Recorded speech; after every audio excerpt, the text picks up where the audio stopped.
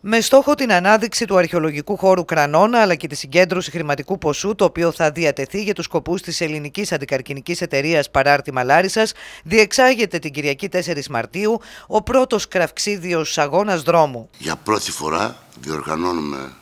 μαραθώνιο δρόμο πάνω από την αρχαία πόλη της Κρανώνα που τα ευρήματά της είναι υψής της σημασίας για να τονώσουμε να επικοινωνήσουμε και να δείξουμε τη μεγάλη σημασία για μας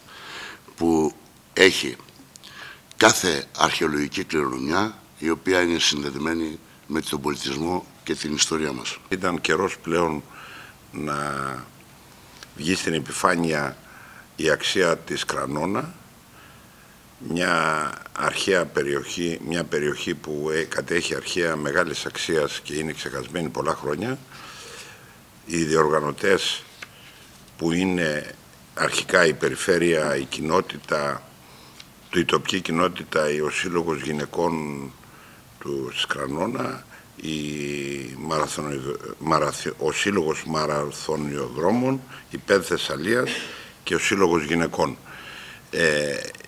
πιστεύω ότι θα υπάρχει μια άψογη οργάνωση, θα γίνει ένας τέλειος αγώνας με διπλό στόχο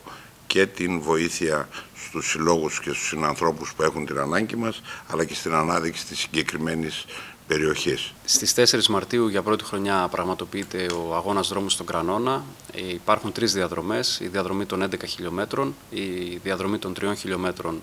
όπου είναι για περπάτημα για όσους θέλουν να συμμετέχουν για το σκοπό του αγώνα και η διαδρομή χιλίων μέτρων για τα παιδάκια γίνεται ένα μεγάλο κάλεσμα και μια μεγάλη κινητοποίηση στην ευρύτερη περιοχή και στον νομό Λάρισας. Οι συμμετοχές είναι εντυπωσιακές, είναι από όλη τη Θεσσαλία και από όλη την Ελλάδα και όλοι έχουν αγκαλιάσει το σκοπό του να ενισχύσουμε την ελληνική αντικαρκυνική εταιρεία, το παράρτημα Λάρισας. Ε, τιμή και ευγνωμοσύνη για μας. Τιμή γιατί αφιερώνεται ο πρώτος αγώνας, ο κραυξίδιος αγώνας, στην ελληνική αντικαρκυνική εταιρεία και ευγνωμοσύνη γιατί όλα τα έσοδα θα διατεθούν για τους σκοπούς ελληνικής αντικαρκυνική εταιρείας.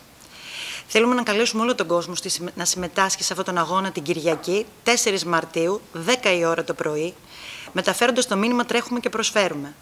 Η Ελληνική Αντικαρκυνική Εταιρεία όλα τα έσοδα τα οποία θα τις διατεθούν για τους σκοπούς της θα στηρίξει το μεγάλο σκοπό όλη πόλη φιλοξενεί το πρόγραμμα, το οποίο είναι πρόγραμμα στήριξης αδύναμων ογκολογικών ασθενών που έρχονται στην πόλη για να κάνουν τις θεραπείες στα δύο νοσοκομεία της πόλης και εμείς τους διαθέτουμε δωρεάν παραμονή στα ξενοδοχεία της πόλης. Η διαδρομή που θα αγωνιστούν οι αθλητές είναι 11 χιλιόμετρα, ενώ θα υπάρχει διαδρομή για περιπατητές 3 χιλιόμετρων και ο παιδικός αγώνας χιλίων μέτρων. Στην προσπάθεια αυτή συμμετέχουν η Περιφέρεια Θεσσαλίας, η Αντιδημαρχία Πολιτισμού Δημού Κιλελέρη, η τοπική κοινότητα Κρανώνα, ο Σύλλογος Γυναικών της περιοχής αλλά και ο Σύλλογος Μαραθωνοδρόμων του formula, says.